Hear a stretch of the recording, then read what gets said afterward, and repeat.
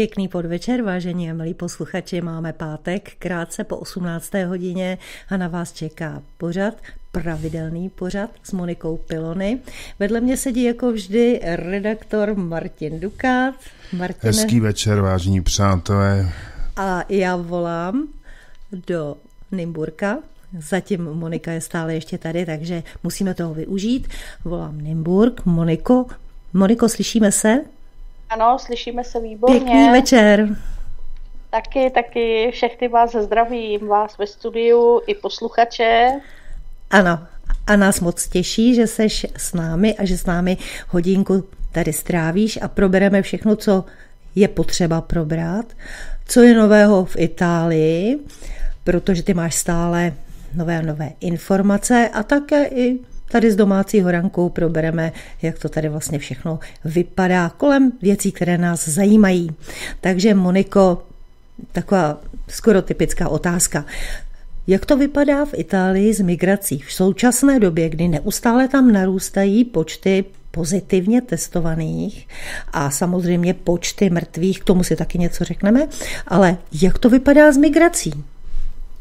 No tak migrace samozřejmě eh, stále funguje v plném proudu, eh, jsou tam eh, neustále problémy, no takže asi bych začala tak nějak, jak si řekla, tradičně i s těma teda číslama. Určitě. Tak tady máme vlastně od začátku roku 2020 do dnešního dne, do dnešního rána 32 474 nelegálních migrantů, kteří eh, se dopravili do Itálie přes moře.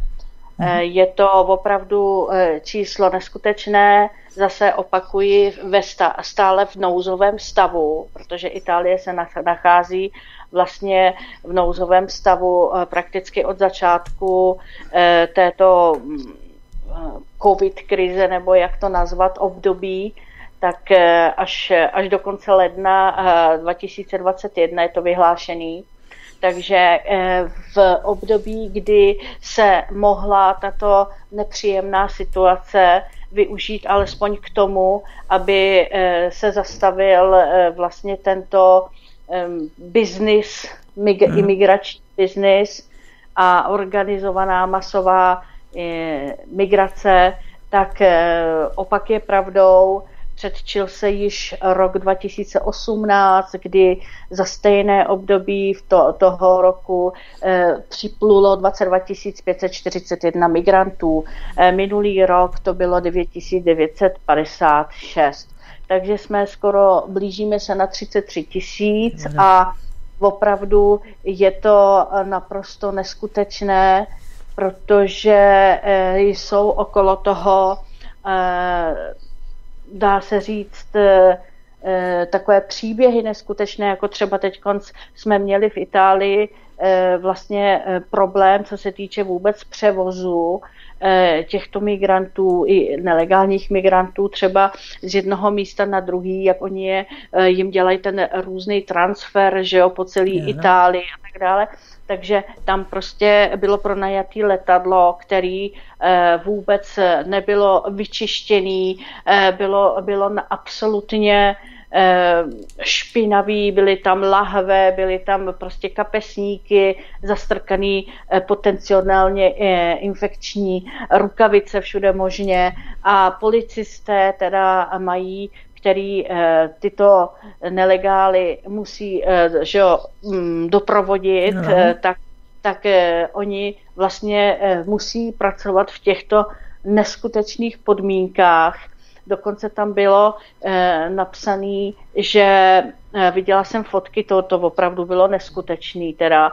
A bylo tam napsané, že speciálně po té kontrole potom eh, vlastně jeden třeba z migrantů, který eh, nastoupil po testu negativním, eh, vlastně se stal ve velice krátce, krátké době třeba pozitivním. No, takže nemá to opravdu jednoduchý policie, já se jich opravdu zastávám, protože znám několik agentů, který policejních, který mají toto, eh, tuto práci a mají migranty na starost. A potom, co teda se člověk dozvídá, jak oni se chovají, jak na ně plivají a jako, jak oni nemají vůbec jako pravomoci zasáhnout tak, jak by si myslel každý člověk, že by se mělo zasáhnout v tomto případě, tak jako to si nemohou dovolit, protože mají rodiny a nemohou si dovolit přijít o práci, protože jestliže je napadne migrant, tak tomu se nic nestane, ale oni by okamžitě byli eh, vlastně eh, odvolání z práce a nastal by proces a pravděpodobně eh, by se mohlo stát, že od práci přijdou. Takže to je ještě takhle taková vložka do toho, no informace, kterou, která je třeba Eh, velice aktuální ze dneška, co se týče minule jsme si povídali o té karanténní lodi Azura, tak dneska se eh, z té lodě vylodilo v Katánii 126 migrantů, kteří prošli tou karanténou, o kterých oni tvrdí, že, už ne, eh, že, že jsou teda negativní na testy. A byli teda autobusama rozveženy do, tentokrát teda do Apulie, na lodi zůstalo 530 migrantů a v nejbližších dnech 330 eh, z nich by mělo být teda, eh, řeknu, puštěno, že jo, nebo ano. rozveženo eh, zase do jiných teda center po celé Itálii. Mhm. Já jsem se ještě chtěla zeptat, ty letadla, to jsou normální dopravní letadla, které se běžně využívají teda v nějakém letovém provozu. Nevím přesně, co je to za firmu. Vím, že to bylo pro, eh, že to bylo, eh, že bylo teda eh, pronajato. Nevím teda od jaké společnosti, ale právě třeba zrovna, co se týkalo tohoto případu, o kterým jsem mluvila, tak tam byly, ta společnost měla problémy prostě s tou úklidovou firmou, hmm. takže prostě to letadlo přistavila a, a normálně dala takto nevyčištěný úplně s hrozným teda jako v hrozném stavu opravdu. No to mě jen tak napadá, že určitě to teda bylo všechno eh, pronatý za státní peníze, protože těžko se soukromá firma eh, by ten transfer eh, financovala a ten úklid bude zřejmě také tak velmi drahý, že si to memte, že prostě uh, lidi, který, no jestli se dá říct lidi, prostě uh, tady ty pasažéři, ty vůbec, uh, když potřebují na záchod, tak asi se nedělají, nedělají jim problémy to vypustit kdekoliv po zemi. A ten úklid potom samozřejmě je velice náročný. Ono konec konců, když si vezmete jenom jedna ta sedačka, kolik stojí po čalounění, tak to jsou teda šílený peníze. Eh, v případě, že by se to mělo dát do prostého pořádku. Jenom tak na okraj k tomu, jak se říkala, že teda jsou používány letadla. Vážení posluchači, když potřebujete někam, financuje vám stát dopravu letadlem, třeba když potřebujete do Ostravy, anebo pod podobně. To je Jenom tak na dokreslení té situace, která v Itálii je, protože stále musíme mít na zřeteli, že je tam nouzový stav.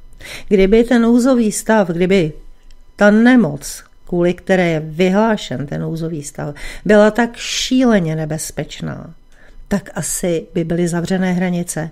A to je taková pozoruhodná záležitost že hranice jsou propustné, stejně tak jako u nás. Tady se budou trestat lidi, jo, ale hranice budou stále propustné, takže nějaký jako přenos covidu přes hranice není vůbec žádným problémem. Tady je to vůbec všechno tak na hlavu. I teďka ty nařízení, a já, já se omlouvám, ale, ale chci to říct, protože včera já osobně jsem měla ne konflikt, ale takovou situaci, kdy jsem potřebovala nakoupit, šla jsem do Penny a před Penny vám stojí hromotluk, sekuriták, který hlídá, aby každý šel košíku tam bylo dost, protože lidi nechodili nakupovat, aby šel teda s tím košíkem. Takže téměř prázdný krám, obrovský, a prostě každý musí mít ten košík. Já jsem teda šla dovnitř bez problému a pak jsem se dostala vlastně ke zboží, jako jsou rohlíky, to znamená, že je to nebalené zboží. A u nás, jak už jsem několikrát upozorňovala, tak lidé tam šahají bez rukavic. A právě pán, který mě vlastně jako předešel, protože já jsem si brala rukavice, špatně se dají otevřít ty pytliky, opravdu. Chvíli mi to trvalo. A také sáček, do kterého budu dávat rohlíky. Chvíli mi to trvalo, takže ten pán jsem koukala, že byl hodně rychlej, otevřel si pytlik na rohlíky a pěkně se v tom pohrabal rukou. Nebral naštěstí z toho tam, já bych nešáhla už, kde teda on to bral, protože mezi tím si sáhnul na vozejk a tak dále, na všechno možný.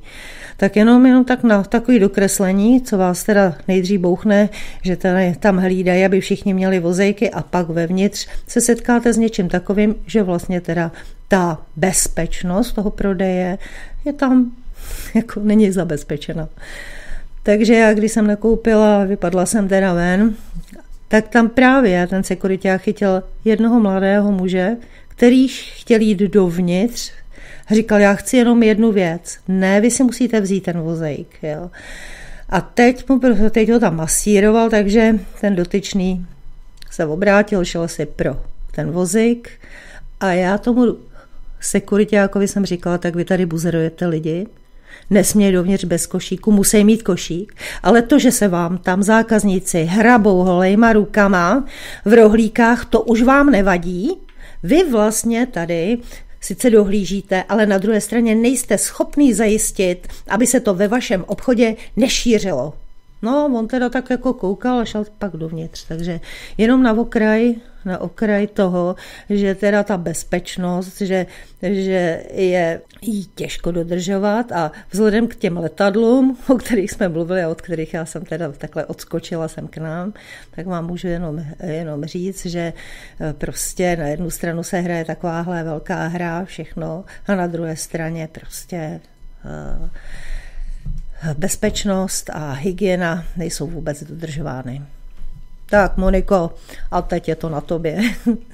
No, tak já se na to asi napojím, protože je to vel, velice důležitá uh, informace. Uh, už jsme se o tom bavili, že třeba v té Itálii uh, zrovna uh, je teda vypěstovaná ta kultura, možná uh, to řeknu takhle, toho, že opravdu ty lidi teda uh, si na to pečivo, když teda v supermarketu není uh, teda uh, pultový uh, prodej, mm-hmm. tak opravdu teda to tam dodržují a musím říct ze svých zkušeností, že jakmile se tam objeví někdo, většinou to jsou teda nějaký zahraniční dělníci a, a chce si teda jako prostě hrábnout bez té rukavice, tak kdokoliv je na blízku, včetně mě, tak ho upozorní, že teda takhle ne. A, hmm. Ale to, tohle to se samozřejmě dělo i, i, když to takhle řeknu, před tím covidem. A ty to víš moc dobře, ano, protože ano. si tam měla víckrát, že jo. Mm-hmm, a máš tam sestru, takže... Je to takže pravda. Tam, jako v tomhle tom jako funguje a je fakt teda, že eh, v těch obchodech eh, teda v dle teda nařízení, které jsou eh, mnohdy velmi nepříjemná.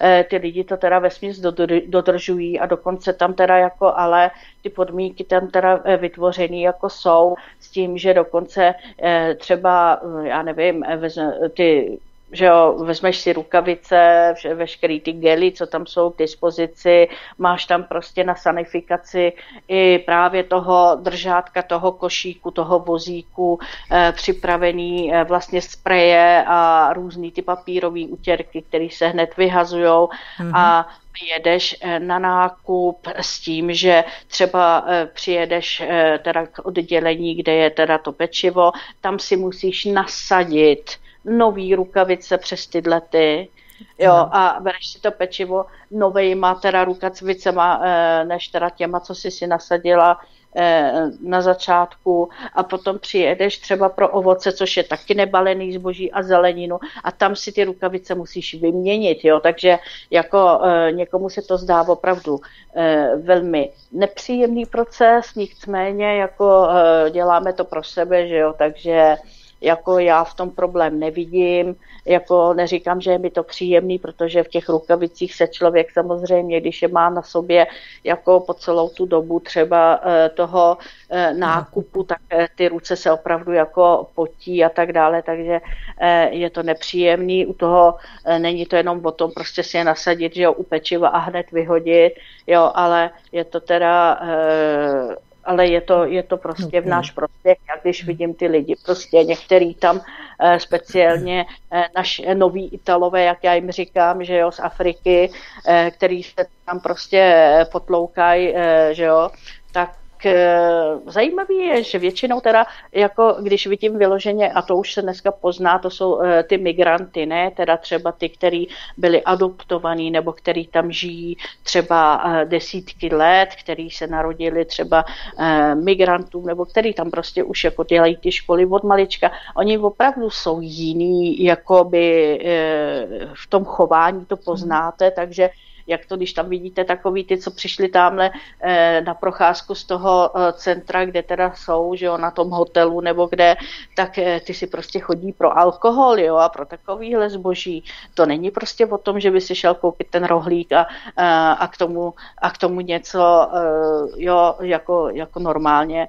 Takže ty tam jsou schopný ošahávat prostě věci, takže tam opravdu si člověk dává pozor, jako eh, eh, po čem šahají, ale, ale prostě musí mít teda teď ty rukavice taky, takže jako nicméně aspoň, aspoň takhle. Aspoň něco. No. Hm.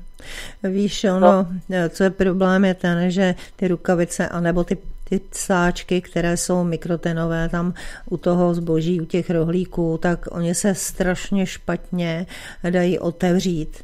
Prostě když nemáš vlhký ruce a když nemáš to namočený, tak, to, tak opravdu to trvá prostě chvíli, já ne minutu nebo i dvě, než se to podaří člověku prostě od sebe odlepit. Takže právě to je tak jeden z důvodů, že ti lidé nemají tu trpělivost eh, se s tím takhle dlouho zaobírat, aby se dostali do rukavice anebo teda do toho sáčku, což eh, právě vede k tomu, že oni všichni chtějí rychle, rychle a, a vlastně ta bezpečnost teda je tam také narušená. No. Ano, to máš pravdu. E, jako já se do toho taky velice špatně, tak jako všichni dostáváme, takže mm-hmm. e, je, to, e, je, to, je to tak. No. Mm-hmm. Ano, tam já jsem ráda, když prší, protože si, když si vedu sebou dešník, tak já se vždycky jenom trochu malinko jako na ten dešník mokrý šáhnu a pak to jde teda dobře dobře prostě rozlepit ten pytlík, to je takový, no ale těžko člověk s sebou bude nosit něco mokrého, že aby eh, je to, je to trochu, je to problém, tak, eh, tak jenom tak na okraji, že nechci být takový mentor a nechci prostě teda nadávat na ty lidi. Vím, že eh, použití tady těch ochranných prostředků nese prostě nějaké své nepříjemné věci, jako je třeba to, že se to velmi špatně dá otevřít. Takže asi to já bych... Jak tomu...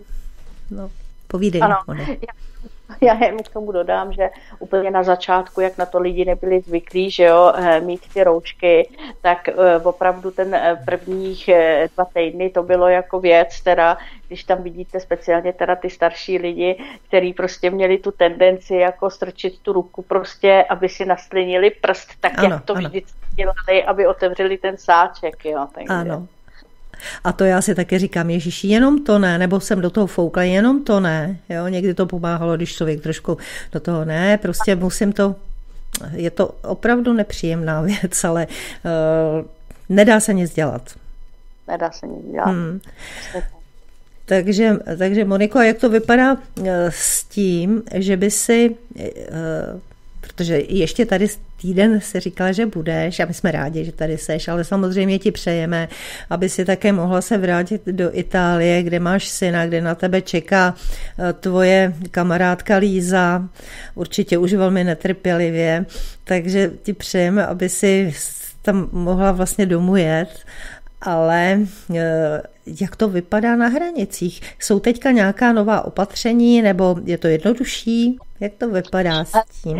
Já jsem tak nějak spíš koukala potom, eh, jako jak se tam vůbec dostat do toho regionu, kde já bydlím do Veneta, protože ano.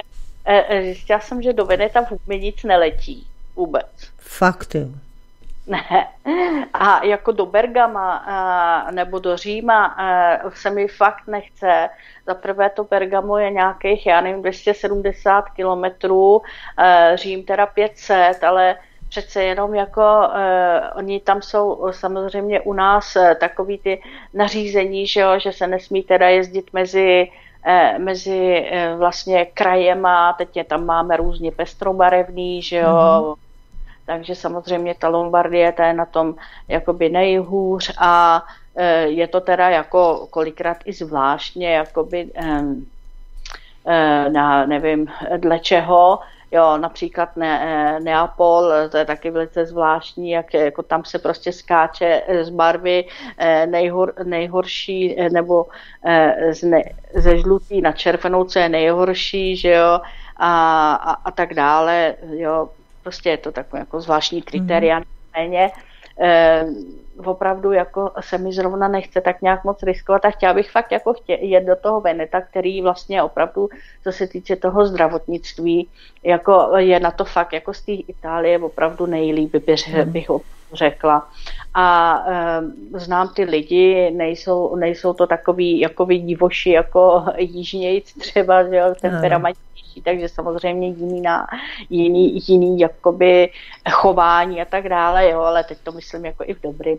No nicméně eh, já bych chtěla prostě jet do toho Veneta, tak jsem koukala jako, že třeba přes to Německo, že by to jako mohlo jít, jo. Mm-hmm. Ale nevím vůbec jako kde po mně kdo bude chtít nějaký test, jo, protože a jestli teda mi bude dána možnost jako si ten test teda udělat do těch, já nevím, 48 hodin, nebo jak to je, sama, protože to bych spíš teda upřednostňovala, protože u nás eh, teda eh, v lékárně si budu moci koupit teda test a udělat si ho sama Aha. nějakým způsobem, anebo prostě aspoň eh, něco nějak, pod někoho, co zná, kdo, koho zná.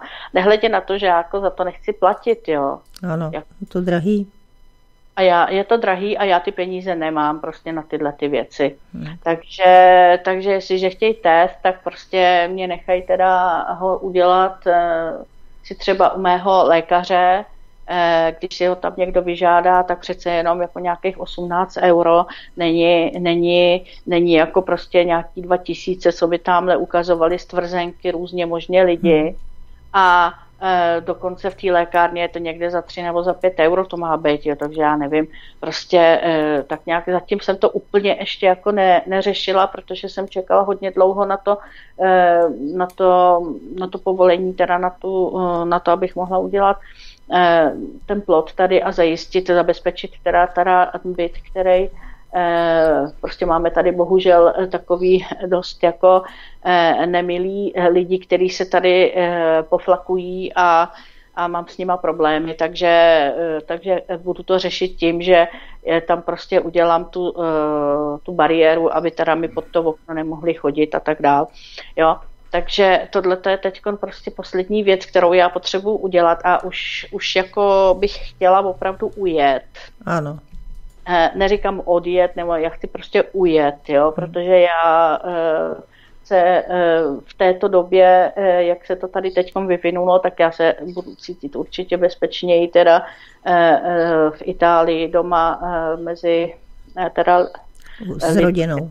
S, s rodinou. Aha. A s tím, že nevím prostě, jak jak se to všechno vyvrbí vše, a, a, a určitě bych teda jako chtěla chtěla být eh, s nima. Syn ten se mě ptá už každý den, kdy, kdy přijedu eh, s králíkem Lízou, na sebe děláme teda čuču ňuňu prostě po, eh, po Whatsappu, že jo. Mm. Takže ta chudák tam prostě leží u telefonu a kouká na mě a, a hledá mě třeba za tím telefonem, anebo běhá ke, ke dveřím, jo, protože když mě tam vidí a slyší, že jo, Pro, no, takže jako už prostě bych chtěla být doma, abych pravdu řekla, a Vůbec se tě nedivím. Nehledě na je to, to moc vím, dlouho. Okolí, eh, nehledě na to, že vím, že to mé okolí se chová jakoby eh, dost teda bezpečně eh, na můj vkus, takže budu radši, když budu tam. Mm-hmm. Tak určitě, tak samozřejmě tam máš dítě, to jako myslím je zcela pochopitelné a navíc se má ochladit. Příští týden má být daleko větší zima, takže já obdivuju i to, jak se se do všeho pustila, eh, do těch vlastně stavebních úprav s tím, že už to počasí tomu opravdu nebude nahrávat a, a že prostě zima je tady definitivně Teď se podívej, za měsíc de facto už eh, budou, bude vánoční čas pomalu, že máme 20. listopadu, takže to bude eh, tři dny před Vánocemi, tak to už opravdu je taková pokročilá doba.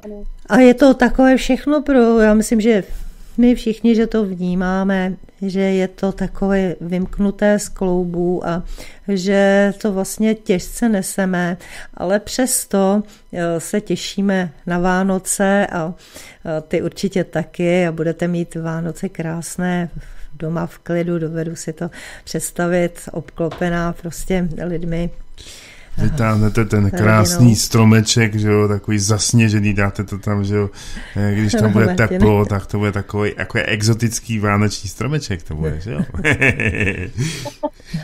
no, tak eh, má vánoční stromeček eh, zas moc velký není, ale je fakt, že jako ho dělám, protože to patří k Vánocům a pod ten stromeček si dávám ladův vlastně jesličky, ladový ten, ten betlémek, jako co eh, eh, vlastně ladový motivy jsou tam, takže je to takový, že mi to připomíná víc jako ty Vánoce doma. Já musím říct popravdě, že jako Vánoce cítím víc teda v České republice než v Itálii, tam se mi to zdá víc komerční, bych řekla, ale dneska tenhle ten rok to je všechno stejně jinak, takže nakonec já nelpím jakoby na nákupech a takových věcech, takže si udělám tu výzdobu, která se mi líbí, na kterou jsem zvykla a e, uděláme si něco dobrýho. Myslím si, že to e, nebude e, vyloženě jako v, v rámci nějakých přátel anebo hodně jakoby i rodiny a tak. Myslím si, že ty Vánoce budou jakoby spíš hodně klidné a, a ne, ne moc jako s lidma. Ano. Myslím si, že to takhle bude prostě i nastavený uh-huh. a myslím si, že tak budou nastavený i, že tak bude nastavený i, i Silvestr, jo, že se nikam nepůjde a um, prostě si zůstaneme doma. Já mám na celkem jasno, pro mě ty svátky, já už dlouho to neprožívám jakoby nějaký stres a schánění dárku. My si dáme se synkem jednu knížku, třeba eh, já dám jemu, on dá mě, nebo jo, nebo prostě mm-hmm. nebereme to už nějak jako, že teda eh, schon, spíš teda e, nějaký třeba ty dobroty, na kterých jsme zvyklí, že jo.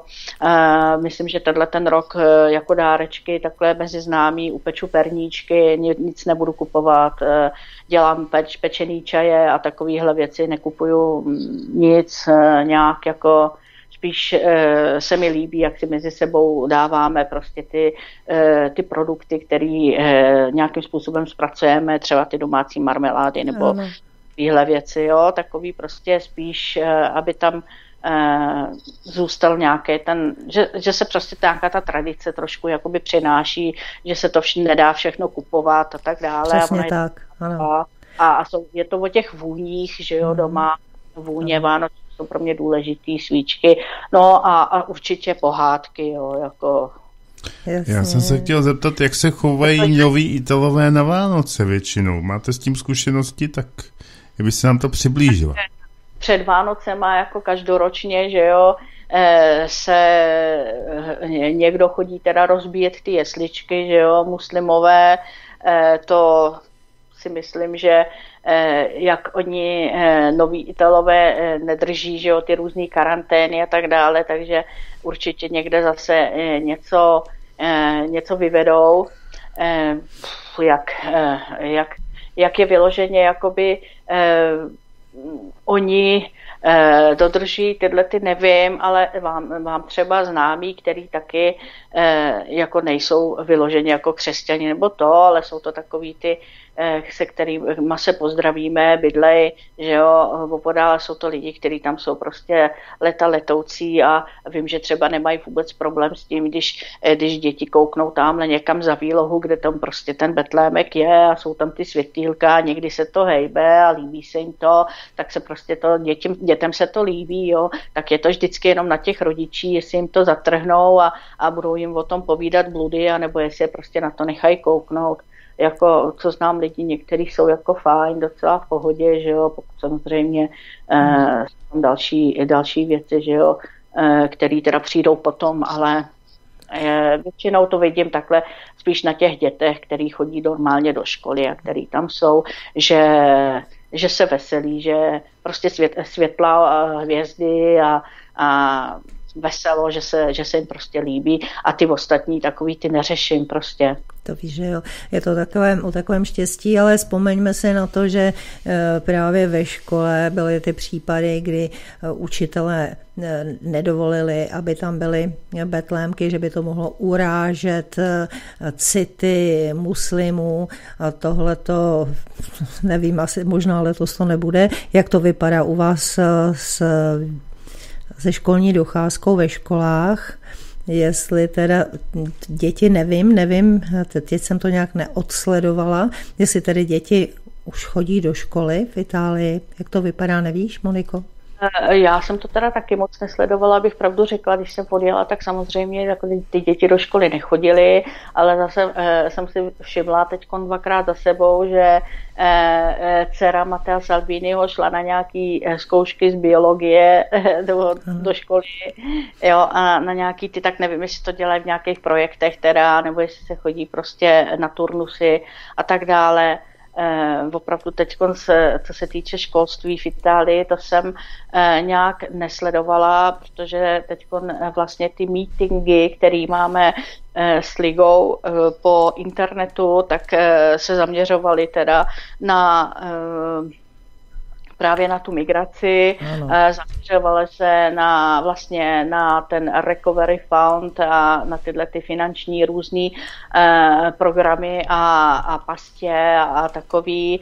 Eh, zaměřovali jsme se na to, že třeba náš ministr z zdravotnictví nebyl schopen určit normálního komisaře na to, aby udělal nějaký ten plán, bezpečnostní plán zdravotní eh, v Kalábrii, takže během, během týdne, dá se říct, nebo nějaký den navíc, ještě během prakticky týdne, tam, tam teď byli eh, vyměněni tři komisaři, jo, prostě mm. za různý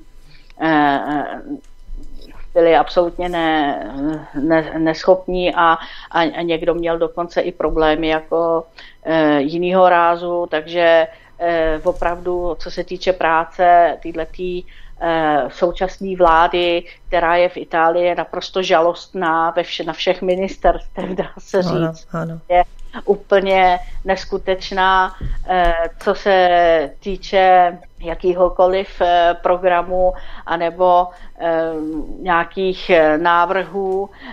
Je to opravdu naladěno do science fiction nejvyššího kalibru a jako hlava to prostě nebere, takže se samozřejmě Eh, připravujeme nějakým způsobem eh, řešit a, a vědět, eh, jaký jsou situace i jinde, že na to jsme my koordinátoři ligy v zahraničí, tak právě tam jsem vypracovávala, jak už jsem minule řekla, že ten epidemiologický eh, jakoby a tu analýzu, že jo.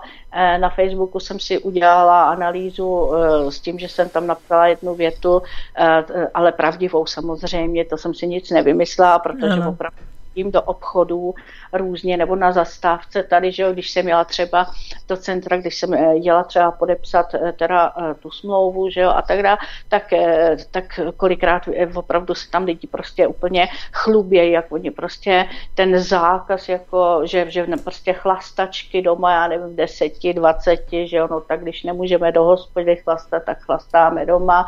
A, a teď prostě asi ve třech případech tam vyprávěli vyloženě, jak tam byli úplně do, ne, do němoty, jako jak se tam spili, jo. takže eh, tak nějak mě napadlo eh, teda to integrovat jako do, mm, v otázce teda jako na téma prostě eh, toho, jak, jaká by teda jak kdo vidí tu zodpovědnost vůči ostatním v této, v této době.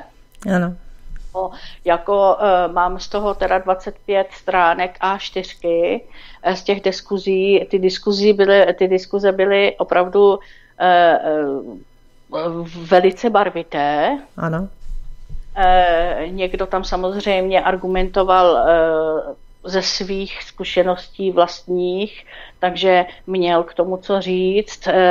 Někdo slepě papouškoval, koho si, koho si prostě vybral jako idola a kterého sleduje. S tím, že tam samozřejmě některé argumentace byly naprosto šílené, ale samozřejmě, jak jsem řekla, poděkovala jsem každému za svůj názor, nechtěla jsem, aby to pokračovalo dál po devíti hodinách, eh, jsem měla více než to vzorku na zpracování, takže mm-hmm jsem opravdu poděkovala všem za názor. Já nikomu eh, jeho názor eh, samozřejmě nepo, nevy, nevyčítám ani a ani jeho nějakým způsobem nechci napravovat jako to nebylo mým cílem. Já se k tomu nějak ani vůbec nikde nevyjadřu, protože je to nemožný v dnešní době, protože diskuzovat se o tom, o tom nedá prakticky, když si to tak vezmeme, eh, tak eh, že toto eh, prostě do vypracování této analýzy, protože jsi mě řekla, abych, nebo se mě zeptala, jak, jak to vlastně dopadlo, tak jsem to samozřejmě použila pro, ve svůj prospěch bez, bez jakýchkoliv jmen, samozřejmě, ale jenom v procentech vlastně jsem vypracovala z toho názory, kdo teda jako prostě nevěří, že něco existuje, kdo jako říká třeba, že něco existuje, ale samozřejmě je tady na, ta manipulace a, a další věci, e, jo, kdo teda prostě je extrémně na jedné straně, extrémně na druhé straně, takže to bylo jenom o procentech, vlastně e, o žádných jménech, o žádných prostě to, to jako nebylo. Eh, takže to bylo docela i důležitý, eh, jak to probíhá v těch dalších státech, je to také zajímavé, eh, protože opravdu ty zahraniční sekce je jich opravdu hodně už po celém světě, takže je to velmi zajímavé. Mhm. Co se týče co se týče jakoby e, názoru, že někdo to třeba ani pořádně nepřečte a okamžitě atakuje, jo, s tím, že prostě, když teda někdo udělá jako takovouhle otázku, tak prostě okamžitě, aniž by si to dočetl třeba někdo dokonce, tak, e, tak e, tě zaškatulkuje, jo, tě zaškatulkuje Přitom já tady od začátku úplně říkám, od začátku, že, že, že nejsem žádný člověk, který by prostě slepě nějakým způsobem eh, Jo, já prostě mluvím e, s doktorama, mluvím e, s anesteziologama, mám kamarádky, sestřičky zdravotní, mám, e, znám, e, znám velice dobře spousta lékařů, kterých si vážím a e, formuju si svůj názor na základě jejich poznatků. Problém je v tom, že v té komunikaci, jak jsme říkali, právě tam je ta manipulace, že jo, boj, e, jsou tady, je tady jakási politika, která teda to, to, je to, e, toho všeho využívá k, k manipulaci a je tady pro svůj, pro svůj vlastně, pro, jako je to boj o moc. Nejvíce, jako co v tom vidím naprosto úplně jednoznačně, ale od začátku je tam vlastně eh, ten eh, farmaceutická lobby, která prostě je tady soutěž, kdo, nej, kdo prodá nejdřív a, a nejvíce, Nejvíc. jaké, jakési, jakési vakcíny, která, což je naprosto šílené, protože po nějakých měsících nemůže přece existovat bezpečná vakcína. To, s tím se mnou samozřejmě souhlasí e, většina lékařů, který, se kterými komunikují. Jako je spousta lidí, kteří tomu rozumí. Já nejsem lékař, ale já samozřejmě si nechávám věci vysvětlit a tohle to je logické, to bylo vždycky, vždycky daný, že jako nějaký pokusy za pár měsíců kde se prostě přeskočí fáze 1, fáze 2 a fáze 3 a dělá se to palar, paralelně, mm. tak eh, to jako prostě nevěřím če, ničemu takovému, eh, nechci si to, nedám, nenechám si to samozřejmě vůbec jako píchnout nějakou si pseudo, pseudovakcínu, vidím to prostě vyloženě jako věc, teda biznisu, vidím v tom jenom prachy a nic jiného.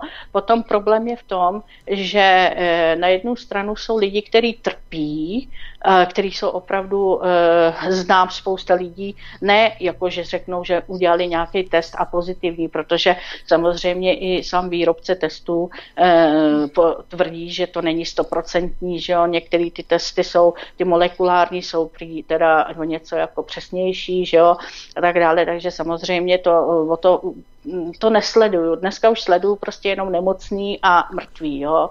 Nesleduju uh, pozitivní, protože těch je 96% vlastně všech. Že jo? Ale jsou tady prostě lidi, kteří opravdu uh, mají příznaky a není uh, opravdu vážné, a uh, tam uh, je problém v tom, že pak jsou, jak, uh, pak jsou jakési skupiny, anebo lidi, kteří vytváří dokonce i videa, které, který jako dělají, jako že jsou tamhle prostě někde na jipce a přitom to není pravda. Jo, takže se tam míchají vlastně fejky, dělají se tam falešná videa, takže potom samozřejmě člověk ničemu nechce věřit, protože je to všechno zmanipulovaný a do toho potom je tam pravda, že jo, eh, lež. A teďka nikdo si nedokáže představit z toho vlastně, jak to vlastně je a nikomu nic nevěří, takže já samozřejmě naprosto chápu lidi, že už toho mají fakt jako všeho dost, protože eh, tam je opravdu eh, cílem oblbování, ale nezapomeňme na to, že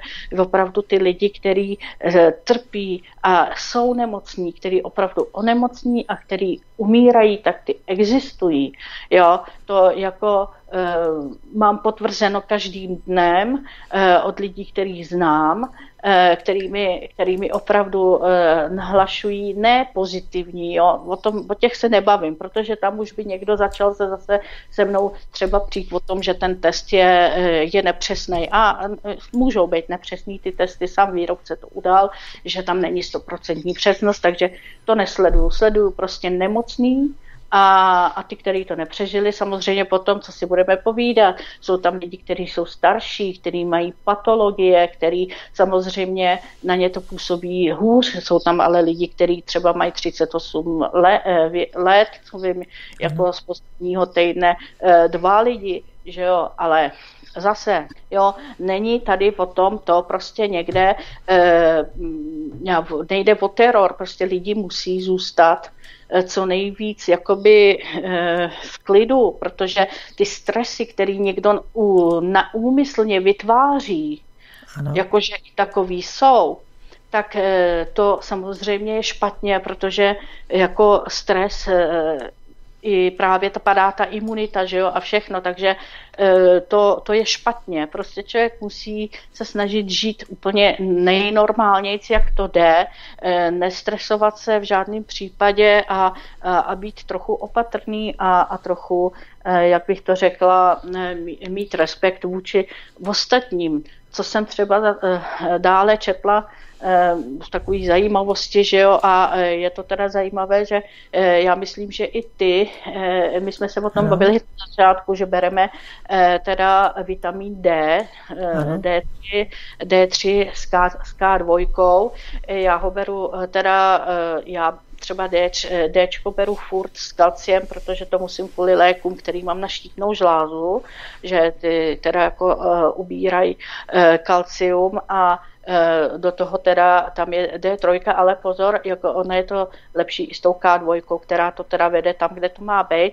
A samozřejmě, když teda nastala, nastala tato situace, tak jsem jako tu dávku teda zvýšila, a e, to, to, D, to D3 s tou K2 teda si bere i můj syn, že jo, jako to je jediná věc, kterou my můžeme v klidu pro sebe udělat, se snažit Aha. být teda, uh, si trošku jako zvednout tu imunitu, anebo prostě uh, snažit se být uh, zdravý, neriskovat zbytečně, uh, že jo, a, a stresovat se, mm-hmm. no, právě eh, v souladu na to jsem chtěla říct, že profesor eh, Giancarlo Izaia právě eh, v Itálii s ním byl rozhovor velice zajímavý. On studuje právě souvislost covidu s vitamínem D, tak právě v těchto dnech mám takový dojem, v této době se bude publikovat vlastně jeho, jeho vlastně ten rozbor a, nebo mm, tu, tu publikaci. Ano a jeví se to jakoby účinná prevence, dá se říct, eh, vůči této infekci, která, která teda nastala a on e, dokonce v tom rozhovoru řekl, že snad v Anglii se to prýš, e, že prýš probíhá distribuce toho Dčka právě všem lidem. To samozřejmě řekl, o to jsem si už teda ne, mhm. Neověřovala, že jo, ale říkám, proč jakoby e, říkal nepravdu, protože e, ten jeho rozhovor byl na velice e, takový e, zajímavý bázi, nezdál se mi nijak jakoby vyvočený, a, nebo že by teda se snažil jakoby nějakým způsobem o nějakou senzaci, tak prostě toto, toto teda takto funguje.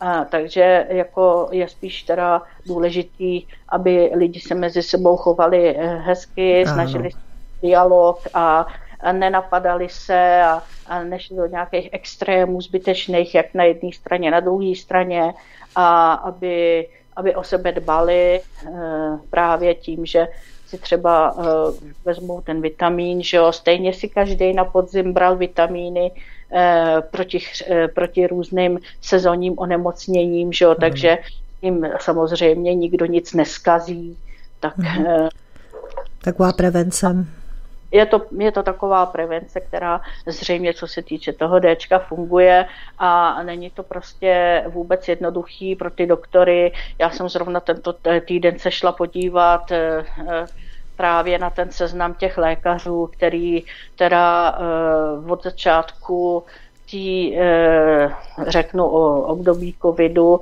do vlastně dnešního dne eh, nepřežili a je, už je jich teda 204 a jsou to teda jenom lékaři, nejsou v tom teda eh, zdravotníci, zdravotníci a další hmm. pro... No.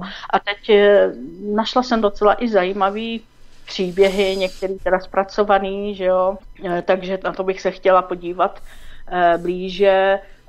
Jsou, to, jsou, jsou tam prostě i lidi, kteří už byli vlastně, když eh, vlastně byli hodně eh, těch lékařů v karanténě, eh, tak byli zavolaní z penze, že jo? takže samozřejmě tím pádem ty starší byli mnohem více, jak bych řekla, měli větší možnost, teda ten, že, ten, že ten covid jako jim udělá nějaký Eh, nějaký ten horší zdravotní stav, když mm. už teda v penzi všichni jste starší lidi, co se budeme povídat, nějaký ty svoje patologie mají a a lékaři, eh, ty jsou vlastně, ty byli tam vystavení, že jo, na, na vlastně na v palební línii, bych řekla, Jo, takže opravdu asi takhle o tomhle. Hmm, Určitě ti lékaři a vůbec zdravotníci no, jsou vlastně v té první linii a jsou na tom nejhůř, protože oni tu nákazu třeba,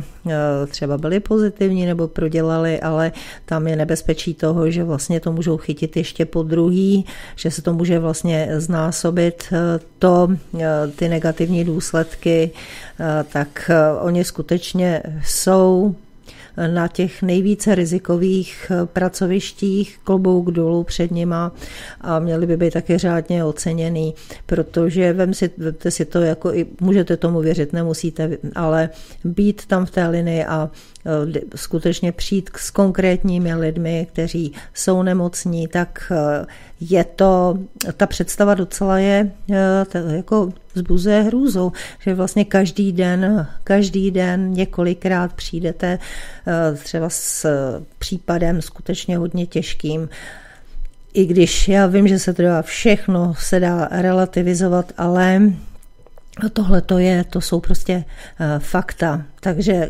před zdravotníky klobouk dolů a jinak, ať už eh, říkáte o té diskuzi na tom Facebooku. Eh, já, já k tomu chci říct jedno, vážení. Ať už věříte, nevěříte, myslíte si, že se vám to vyhne, nevyhne. My všichni máme jedno společné. My jsme oběti. A o to je to víc tristní, že oběti se mezi sebou dohadují, že si nevěří, každý si tam hraje na toho, který má lepší názor, Vždyť je to naprosto nesmyslné. My se přece nemůžeme hádat o tom, jestli něco existuje, neexistuje. To je, je to tady jasně daný. A jenom proto, že jsme to třeba zatím neměli, nebo jsme si tím prošli a je to za náma, tak jenom proto přece se nebudu hadovat s někým jiným, eh, s někým, kdo má jiný názor než já. My můžeme mít všichni pochopení, jo, proto, pro tu situaci toho druhého. Moniko, můžeš.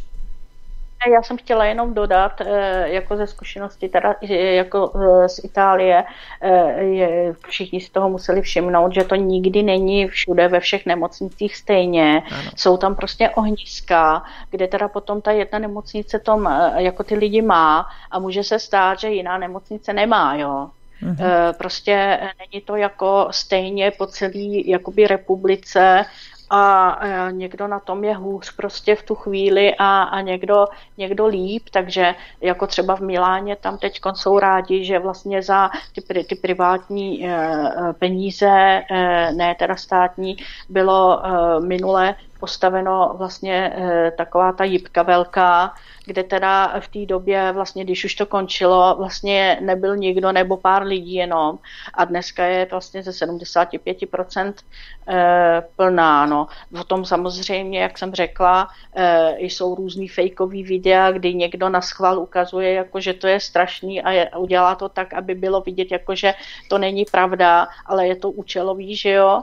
Mm-hmm. A e, Jo, a někdo zase třeba vzbuzuje hrůzu na schvál u lidí, jo, což je taky jako obrovský problém, protože eh, v tom zřejmě budou samozřejmě peníze, takže někdo se k tomu jakoby nechá jakoby koupit a někdo ne, ale Eh, prostě situace, jaká je, eh, já k tomu víc nemůžu říct, já jako mluvím jenom prostě eh, o tom, co jsem slyšela od přátel, anebo od lékařů, který znám a nemám to teda z médií, protože tam se může napsat dneska cokoliv a je to tak? Ne, nechci, nech, nechci to řešit hlavně, nechci to řešit. Hmm. Opravdu to nechci řešit.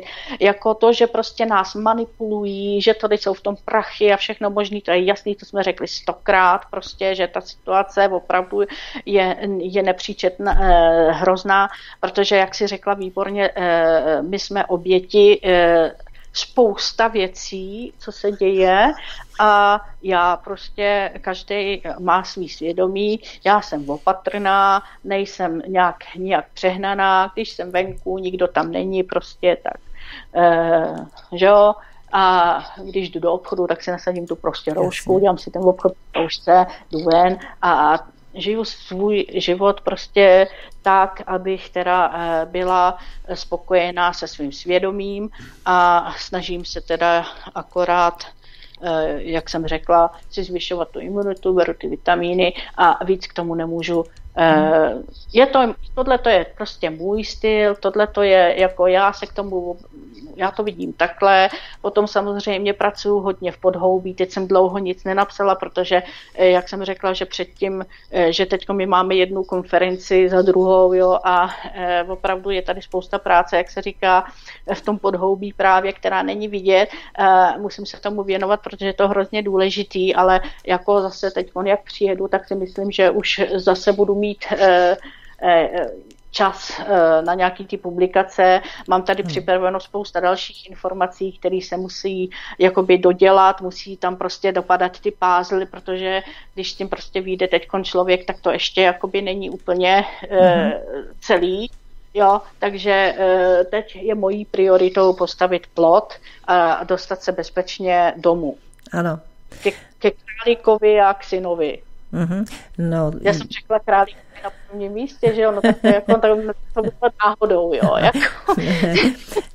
To máš úplně jedno, protože ta láska je tam správně rozdělená a konec konců, koho řekneš první, není vůbec podstatný. Já tě teda přeju také, aby, aby tě to hlavně no. vyšlo, eh, všechno to tvoje přemýšlení ty, ohledně té trasy, kudy, eh, možná, možná ještě i přes to Německo, já jsem, já teď fakt nevím ty kraje, jak oni tam jsou, my vím, že teda poměrně ještě další letiště, který bylo blízko, bylo myslím z Verony. Ale... Tam to ne, tam to, tam, tam to, tam tam ne. Mm-hmm. Vypadá to prostě na Frankfurt snad a do Benátek, že by se to mohlo povést. No, mm-hmm. uvidíme.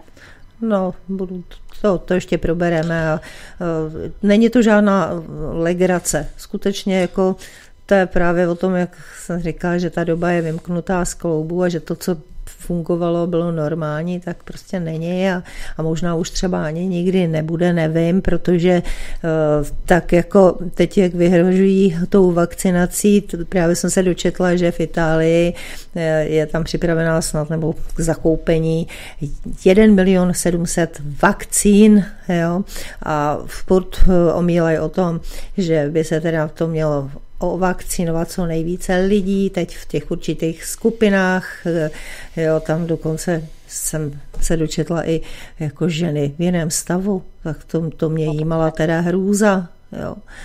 Takže no.